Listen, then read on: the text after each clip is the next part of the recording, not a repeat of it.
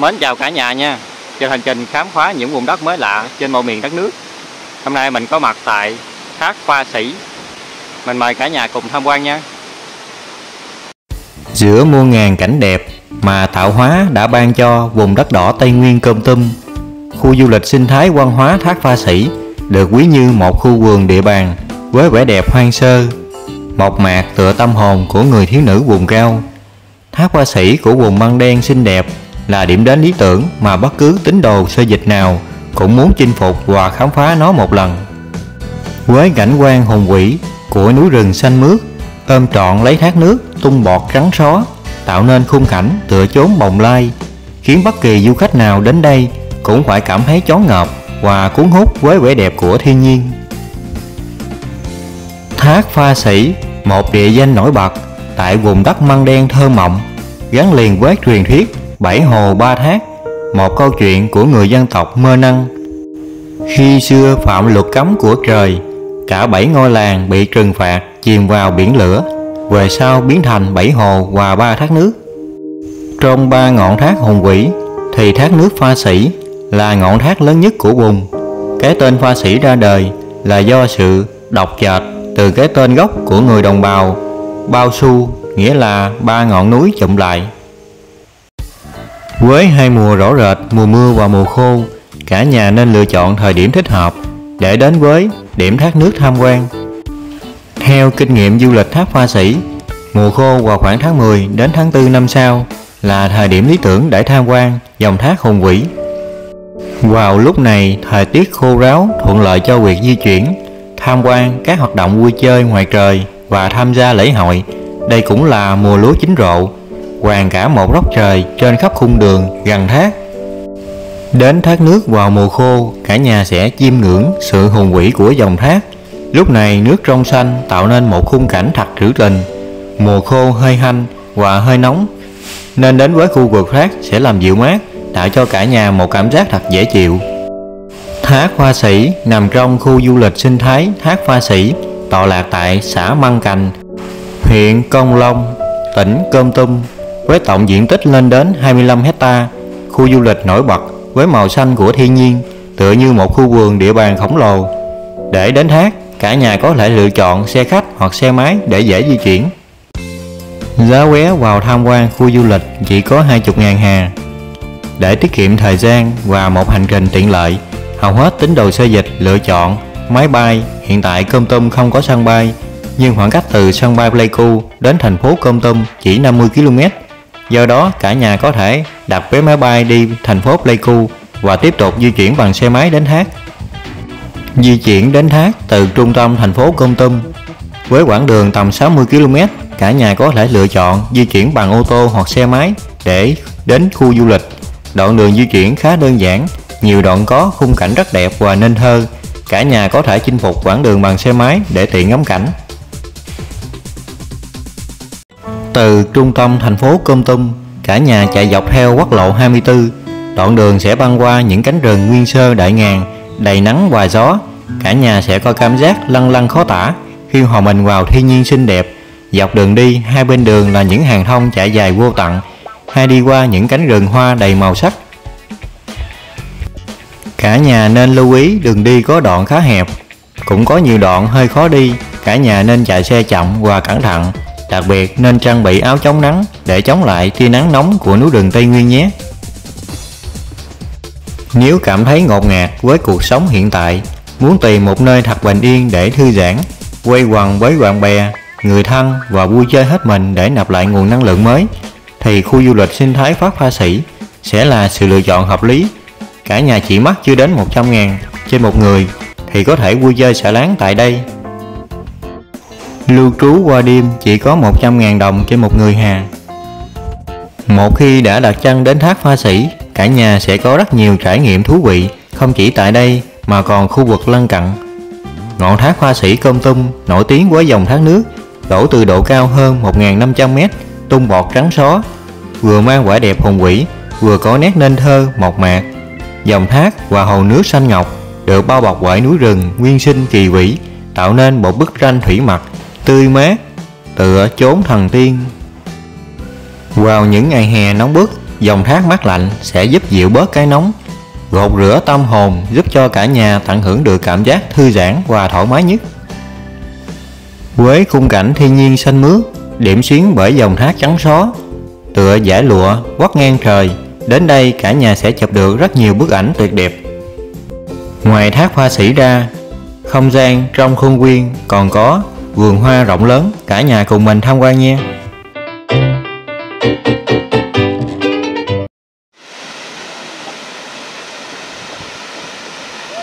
Đứng kế thác, nghe nước chảy thật thư giãn cả nhà ơi.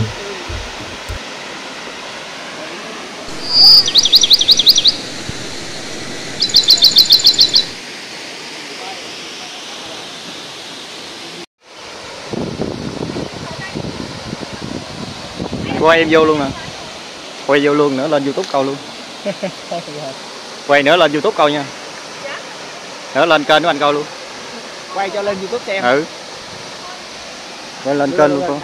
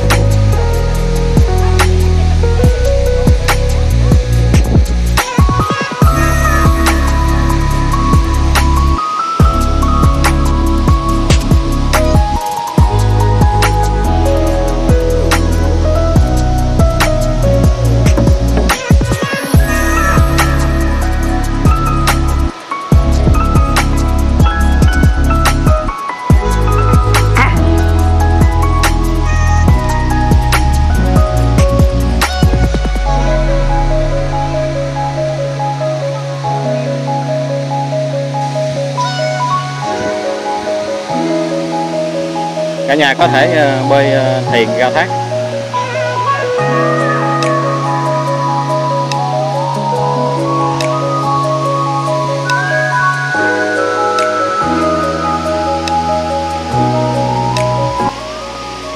Ủa bé à, người dân tộc kinh ha, dân tộc có con thuê đồ mặc á. Thay đồ hả?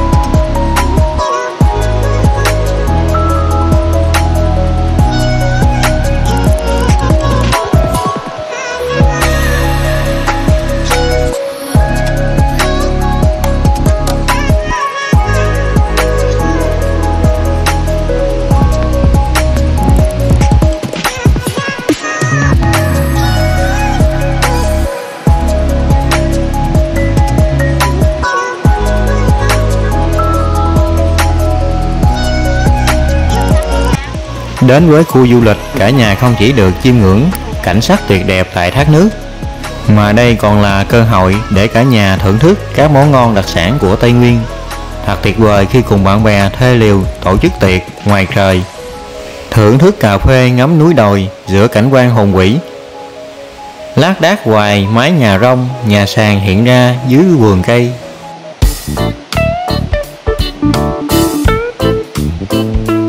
Dưới suối có nhiều cá đang ăn rong.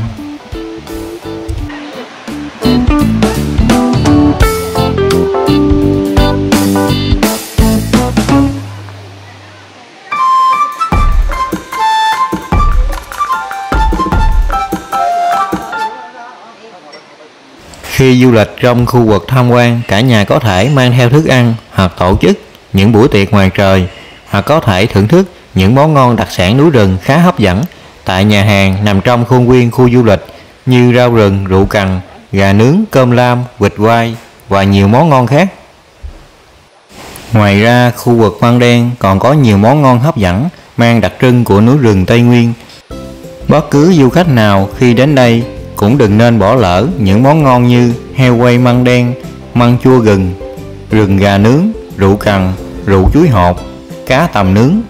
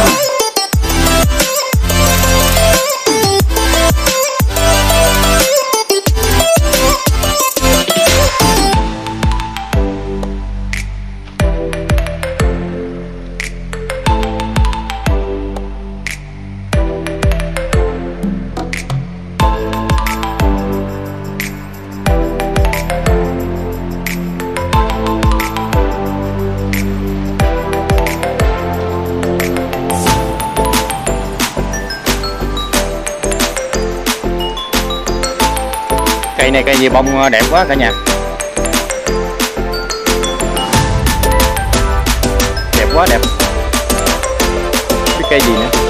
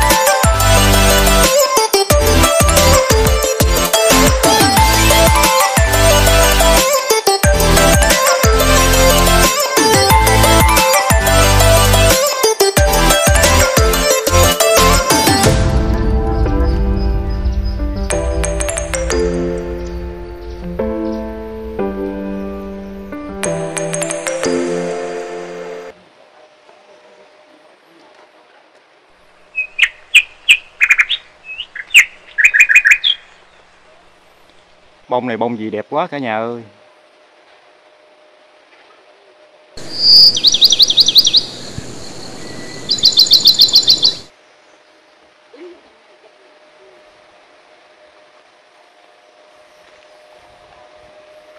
Khách đi du lịch quá đông ha.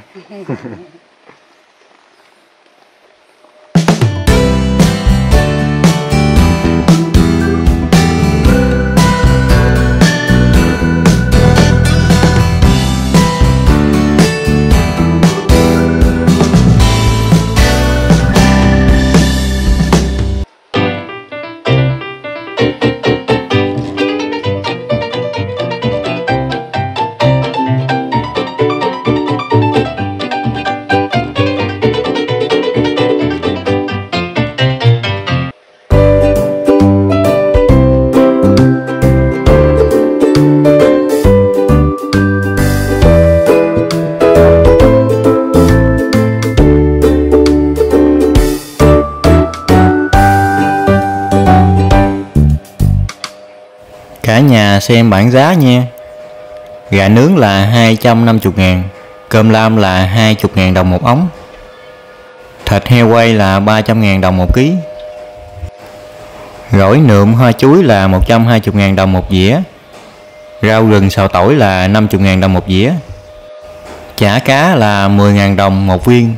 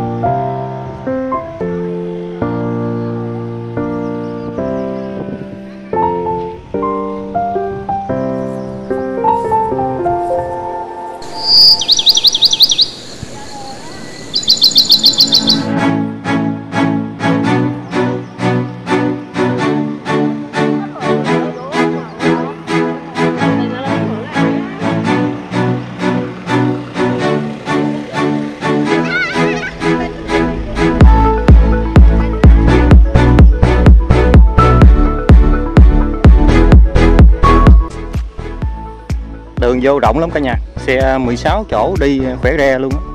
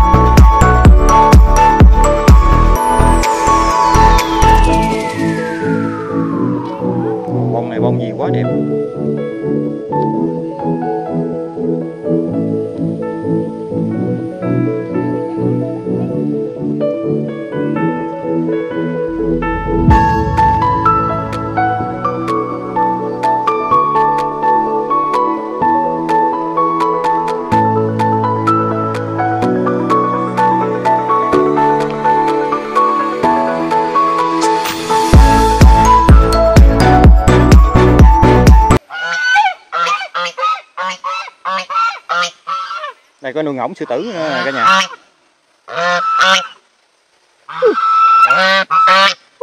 À,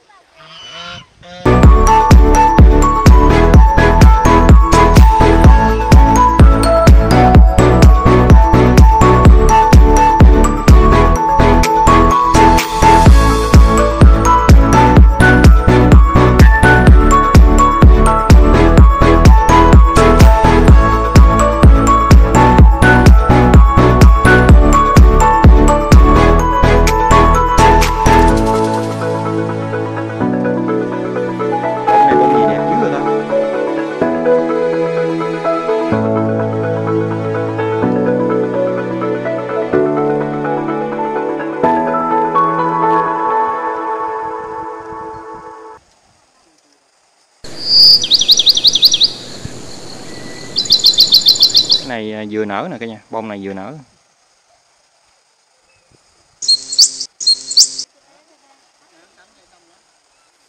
Bông nở rồi thì có màu ờ, tím nhạt. Bông chưa nở thì có màu ờ, hơi vàng vàng.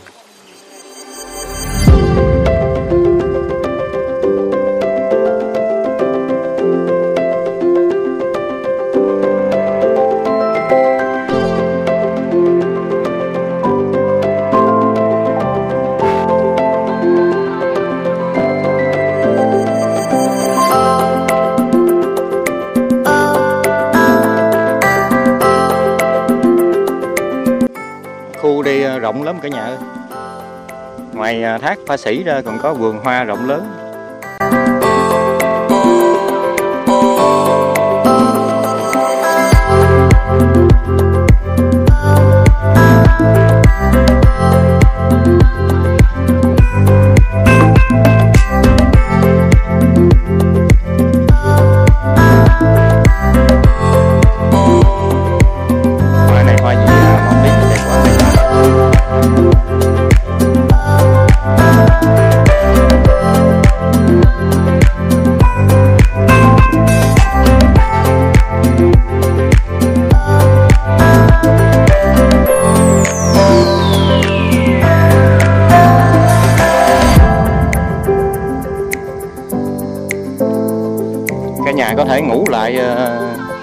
Những căn nhà gỗ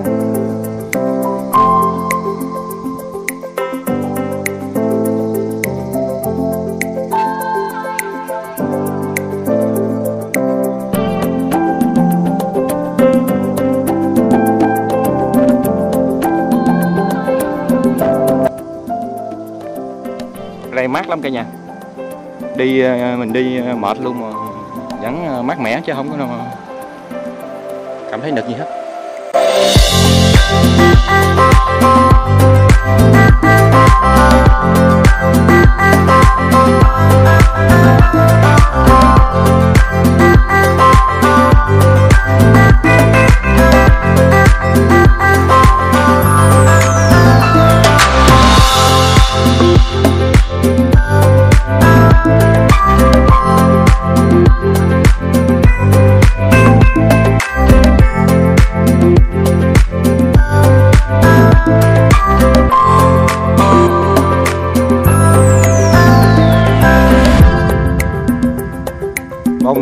Là bông hồng nhung đây.